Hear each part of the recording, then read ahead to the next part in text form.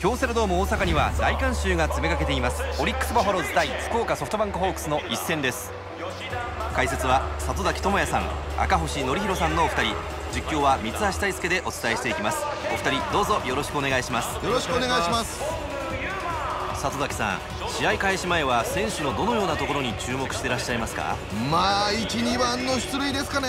そこをどう抑えていくのか。おそらく序盤はこのゲームのポイントになるでしょうね。なるほど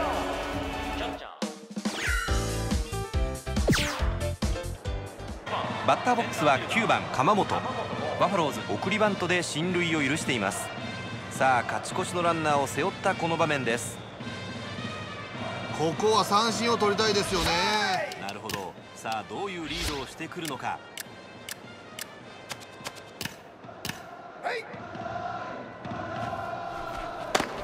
まず最初のボールを決めていきました。変化球打った。高いバウンドファーストが抑えた。そのまま一塁に入ってアウト。ランナー三塁二塁はそのままです。いい形でアウトが取れましたね。えただここからが大事ですからね。無失点のまま切り抜けたいですね。えええそうですね。さあこの場面でバッターボックスには1番の川島が、はい、このピンチ空振り三振に切って取りました。ピンチをしのぎました。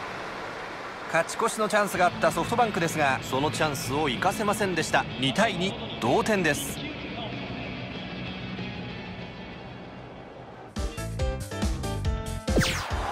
オリックス・バファローズが僅差で勝利を収めました。なんとか逃げ切りました。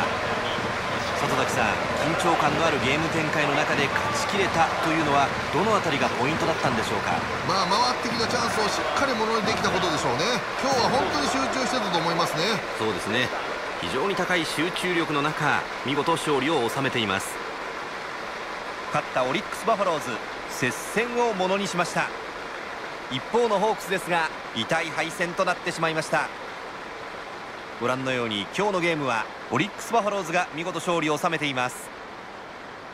今日の解説は里崎智也さん赤星則弘さんのお二人でした。どうもありがとうございました。ありがとうございました。